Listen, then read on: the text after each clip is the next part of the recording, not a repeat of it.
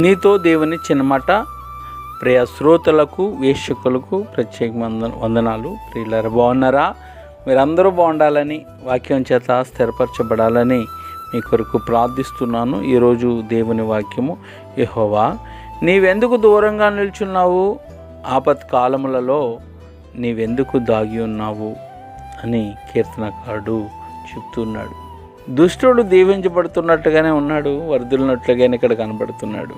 అందుకంటాడు యెహోవా నీవెందుకు దూరంగా నిల్చున్నావు?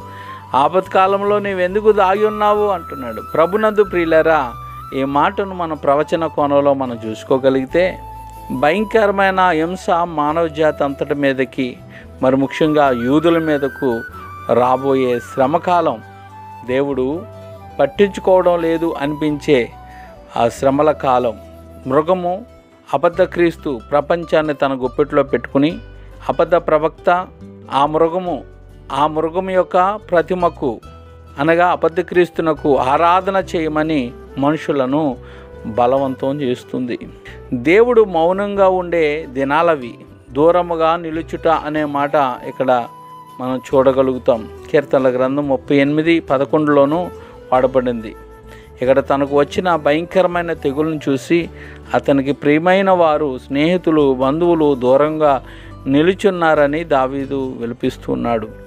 వాళ్ళు అంతా బాగుంటే చుట్టూ చేరేవారు అదే పదాలను ఈ పదవ కీర్తనలో కూడా ఉపయోగించాడు. నువ్వు కూడా దూరంగానే నిల్చున్నావా? అని దావీదు దేవుణ్ణి అడుగుతున్నాడు. ప్రవచన కోణంలో చెప్పాలంటే ఈ మాటలు శ్రమల కాలంలో హింసలు అనుభవిస్తున్న వారు ఇలాగే మాట్లాడబోతున్నారు. దుష్టుడు ఆశీర్వాదాలను అనుభవిస్తూ ఆనందిస్తున్నాడు. దేవుడు దాగి ఉన్నాడు. ఆకాశము ఎత్తడి వలె ఉంది. హింసించబడుచున్నవారు వేస్తున్న కేకలను దేవుడు జవాబడం లేదు. దీనికి కారణం ఏమిటంటే దేవుని ఉగ్రత సమయం ఇంకా రాలేదు. ఇస్రాయిల్లు తమ మోకాల మీద పడి యేసుక్రీస్తును అనేకులకు సువార్త ప్రకటించబడ్డము. ఇక్కడ ఎంతో ఆవశ్యకతగా ఉన్నది.